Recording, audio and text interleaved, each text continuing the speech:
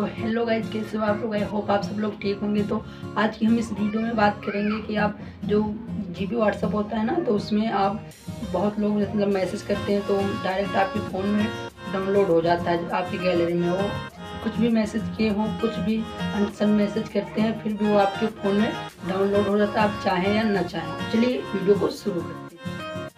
तो चलिए हम आपको बता सक, देते हैं कि आप अपने जी बी व्हाट्सएप या नॉर्मल व्हाट्सएप नो सेटिंग कैसे करेंगे, जिससे कि आप किसी भी चैट का वीडियो डायरेक्ट आपके गैलरी या फ़ोन में डाउनलोड ना हो पाए। तो चलिए हम अपने जी बी व्हाट्सअप को ओपन करेंगे सिंपली और जैसे ही आप ओपन करेंगे, यहाँ पे आपके चैट्स आ जाएँगे और आप चाहते हैं, जिस भी चैट्स का चाहते हैं वीडियो या फ़ोटो का आपके गैलरी में डाउनलोड ना हो, सिर्फ़ व्हाट्सअप पे ही रहे।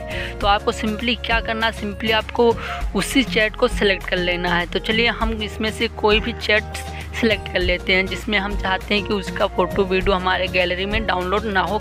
ओनली व्हाट्सअप में रहे। तो इसके बाद आपको करना क्या है? जैसे चैट पे क्लिक करेंगे ऐसे उसके प्रोफ़ाइल पे तो सिंपली यहाँ कोने में एक आइकन मिलेगा, उस पर क्लिक करना सिंपली जैसे ही आप उस पर क्लिक करेंगे, आपको थोड़ा सा नीचे स्क्रॉल करना है। और जैसे ही थोड़ा सा नीचे आप स्क्रॉल करेंगे, नीचे एक आपको ऑप्शन दिख जाएगा मीडिया विजिबिलिटी का। तो जैसे ही आप मीडिया विजिबिलिटी पे क्लिक करेंगे सिंपली आपके सामने यहाँ पे तीन ऑप्शन दिख रहे हैं। जहाँ डिफ़िकल्ट एस पे लगा हुआ है, उसको हटा के नो पे कर देना। जैसे ही आप उस पर नो पे करके ओके को दबाएँगे सिंपली आपकी सेटिंग सक्सेसफुल हो जाएगी।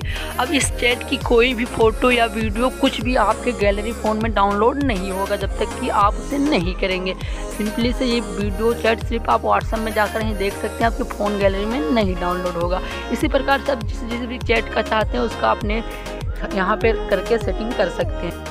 अगर वीडियो आपको पसंद आए तो वीडियो को लाइक करके सब्सक्राइब बटन दबा दीजिए और मिलते हैं किसी अगले वीडियो में। तक जय हिंद